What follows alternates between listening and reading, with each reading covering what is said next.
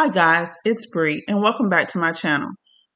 In today's video, you'll see me stop by a very busy Publix grand opening. It's the first one that's really close to my area.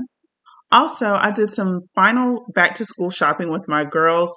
I only had a few items to pick up, so we stopped by Office Depot and Burlington Coat Factory. I will say a lot of the items in Burlington were very affordable. From backpacks to clothing, most things were under $19.99. Thank you so much for watching this video, and if you could, please like and subscribe. Thank you.